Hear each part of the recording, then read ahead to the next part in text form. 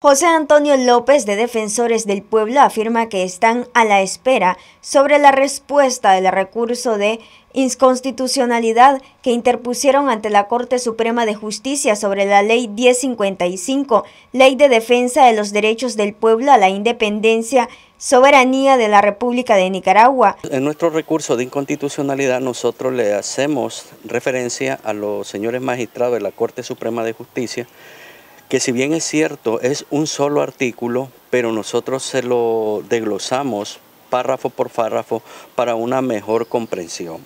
Si nosotros vemos que el artículo 1 o el párrafo primero habla que los nicaragüenses que cabecen o financien un golpe de Estado, debemos de estar claro que esa parte de ahí no está dirigida a la población nicaragüense, está dirigida al ejército y a la policía y a los trabajadores del Estado, a las instituciones del Estado. ¿Por qué te digo esto? Porque si nos remitimos a la historia y vemos que los golpes de Estado siempre son dados por quienes detentan el poder, en este caso la arma, y si vos nos vamos, por ejemplo, te voy a poner este, el ejemplo de Chile, el golpe militar de Chile.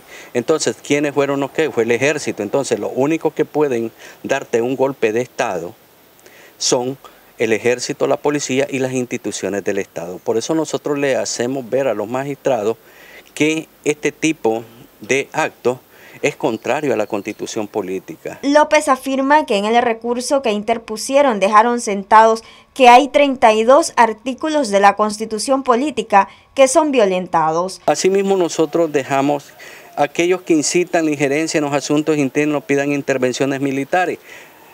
Aquí nosotros le hacemos énfasis a los magistrados y somos claros en citarle el pacto eh, civil de los derechos civiles y políticos y recoge el artículo 19 de la Carta de las Naciones Unidas porque en ella se dice de que nadie puede ser perturbado en sus opiniones. Si nos remitimos a la constitución política, dice que los nicaragüenses somos libres de expresar lo que pensamos, lo que sentimos individualmente y colectivamente y por los medios que sean necesarios. Entonces, expresar una opinión es un derecho humano, es de primera generación y esto contraviene la constitución política. Por eso nosotros estamos dejándole sentado a los magistrados que lesiona este derecho de la libertad de expresión. Noticias 12, Darlene Telles.